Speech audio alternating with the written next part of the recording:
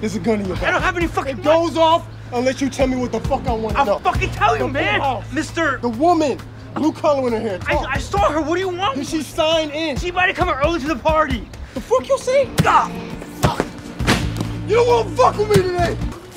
I told you six times I wanted onions on this. Sir, I put it myself. You don't think I know what onions are? I'm not paying for that. Teri maa. Speak English, you fucking immigrant. What do you need? You gotta use your phone. You need to go. Look, man, I don't have any money, otherwise I'd buy something. It ain't about that. I don't want you here.